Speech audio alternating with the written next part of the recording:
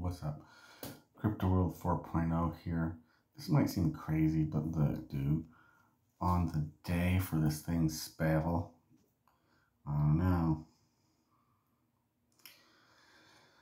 I don't know, to tell you the truth. But look, let me see if I can draw some of this stuff right here for you, my friend. Boom, right here, player. Right, the hell. You got this buy signal there.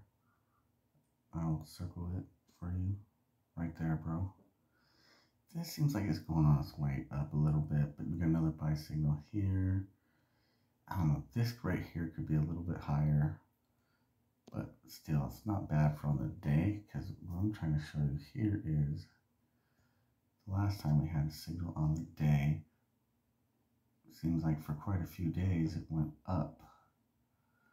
Okay, but you know, this was a little higher when this was all happening, but if you look at the one hour, it's looking very decent, dude. There's not much buy signals going on. You go to the four hour, you go long, and then this is working. Look, that's good, right? That's good. There's no buy signal there, but whatever. So if I look at the look at the 30 minute, see, I see there's a sell here. That's kind of sketch. Let's see what's the one minute. In the one minute, we gotta buy, guys. You better hurry, dude. I'm telling you. I don't know. I threw a little bit into this. I FOMO.